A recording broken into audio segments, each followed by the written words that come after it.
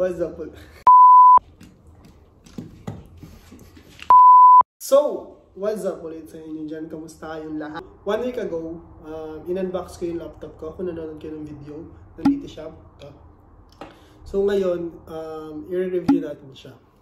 Para sa akin, itong laptop na to is a budget laptop siya.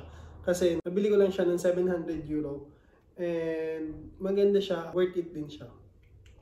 Sa pag-review, may 5 important things tayo titignan sa laptop. First one is portability. The second one is display. And the third one is performance. And the fourth one is battery. And the last one is the price. So, yeah, iisa-isahin natin siya para malaman ba kung maganda or sulit siya sa 700 euro. Pag bibili ka ng laptop, syempre gusto mo um, manipis and light siya. Syempre para madala mo siya. I-check natin yung portability niya. This laptop, Huawei Mate 13 um, AMD, uh, manipis siya. Ang height niya is 211mm. Uh, 186mm siya kahaba. And yung thickness niya is 4.9mm. So manipis siya. Means na kasya siya sa mga backpack. Yung bigat niya is 1.31 kilogram. So, hindi siya ganun ka-light and hindi siya rin ganun kabigat. So, para sa akin, um, portable din siya. Hindi siya mabigat kasi um, one time dinala ko na rin siya nung nag-picnic kami. Parang hindi mo uh, mapapansin na may dala kang laptop kasi magaang siya kesa sa mga ibang laptop na 2 kilos or 2.5 kilos. So, this one is 1.3 1.31 kilograms lang. Yeah. Nakikita nyo, meron siyang 2 speaker.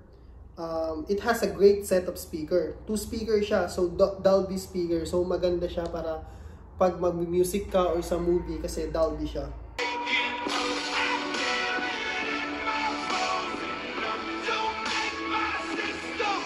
Kita nyo yung keyboard dito. Um, a lot of key travel din siya. So, maganda siyang pag-type para sa akin kasi na-enjoy ko mag-type dito lalo na pag nag-chat-chat ako or nagsasend ng mga emails. So, meron din siyang backlit. So, na-adjust din yung, yung light niya. Touch ID din siya. Hindi mo na kailangan i-type yung password mo just to tap your finger then mag-open na siya. Thank you.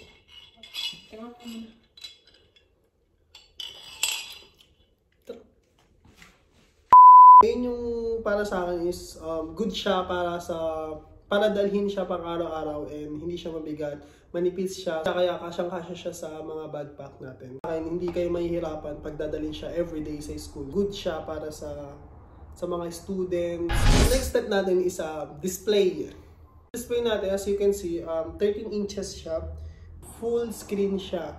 So, nakikita nyo, napakanipis na mga vessel niya. And the screen to body ratio is 88% resolution niya is 2160 times 1440 200 ppi. Support din siya sa 2K. So maganda siyang pang-edit and makita niyo yung mga details ng mga video and yung color niya maganda rin siya. And also maganda siya sa game sa gaming kasi maganda yung screen niya, maganda yung color niya, vibrant siya. And para sa akin sa 700 euro is worth it na siya kasi maganda yung display niya kasi um, support siya 2K resolution And maganda rin yung color niya. And also, full screen siya, di ba? Okay siya pag manonood ka ng movie kasi full screen nga siya. And syempre, yung susunod natin sa display is a performance. Syempre, pag bibili ka ng laptop, mas mahalaga yung performance. Aalamin mo kung uh, maganda ba yung hardware niya, maganda ba yung processor niya. Napaka, feeling ko ito yung pinaka-important para sa, sa isang laptop. You can see naman, this um, Huawei MateBook 13 is it has um, AMD Ryzen 5 3500U and 2. GHz din siya. And yung graphics na ginamit dito is Radeon Vega 8 graphic. Okay siya sa mga games. Has 8 GB RAM. Upgradable din siya up to 16 GB of RAM. 112 SSD storage.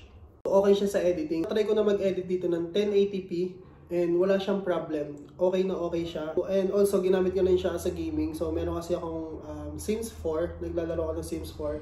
And okay siya. Okay din siya. Wala siyang problema. Hindi siya naglalag. And yeah, is good siya for everyday use. And okay siya sa mga browsing, pag, sa watching, editing,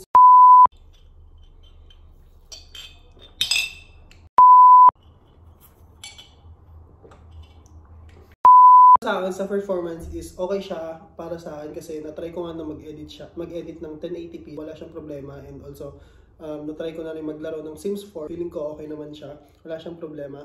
Yung performance niya is okay sa akin. Mabilis siya sa browsing, mabilis siya pag manonood ako ng Netflix.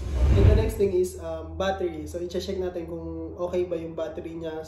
Battery niya is lithium polymer.